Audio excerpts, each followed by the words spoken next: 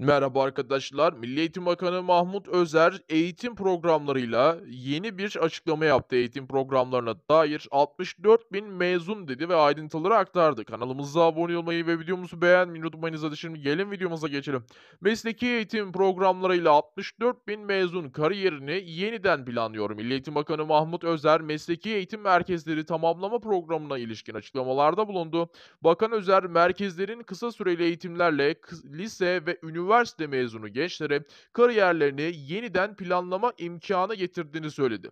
O nedenle özellikle e, lise ve üniversite içinde aslında önemli bir duyuru bu. Mesela mezun olan arkadaşlarımız için de yine önemli bir duyuru. Çünkü buradan mesleki eğitimden mezun olanların çoğu artık e, çok hemen bir şekilde yani ciddi bir şekilde iş imkanı bulabiliyor. Yani iş imkanı açık bir durum aslında artık mesleki eğitim. Çünkü Milli Eğitim Bakanı Mahmut Özer e, geçtiğinden beri Milli Eğitim Bakanlığı koltuğuna özellikle en çok ama en çok ağırlık verdiği yer tabii ki dediğimiz gibi sizlere de e, mesleki eğitim oldu. Yani mesleki eğitime çok daha önem verdi ve çok ciddi yatırımlar da yapıldı mesleki eğitime.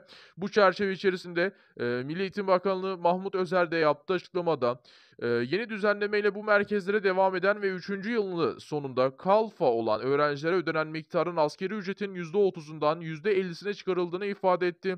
Bugün itibariyle yeni askeri ücret oranlarıyla mesleki eğitim merkezlerine kayıt yaptıran bir öğrenci bir yandan eğitim alırken bir yandan da aylık yaklaşık 1275 lira para ödeniyor. Yani para kazanıyor. O nedenle son durum bu şekilde. Kanalımıza abone olup videomuzu beğenmeyi unutmayınız. Görüşmek üzere.